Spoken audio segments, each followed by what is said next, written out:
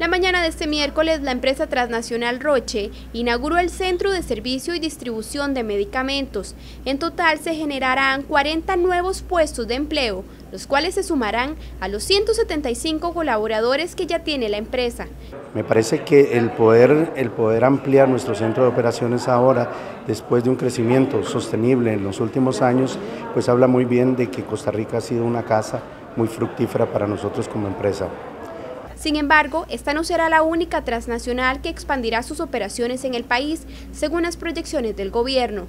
Las proyecciones es que en los próximos meses vamos a seguir anunciando las aperturas o expansiones de alrededor de 11 empresas eh, es trabajo que estamos haciendo, no está confirmado, sin embargo somos optimistas de que eso va a ser una realidad.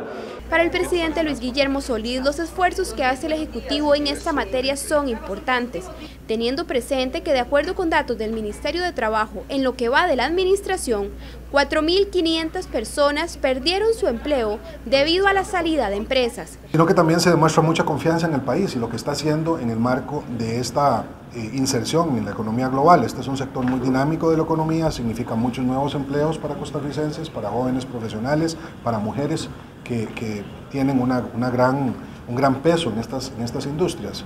El viceministro de Comercio aseguró que por el momento no se puede decir el nombre de las empresas que expandirán aquí sus operaciones. Sin embargo, adelantó que se crearán muchos puestos de empleo.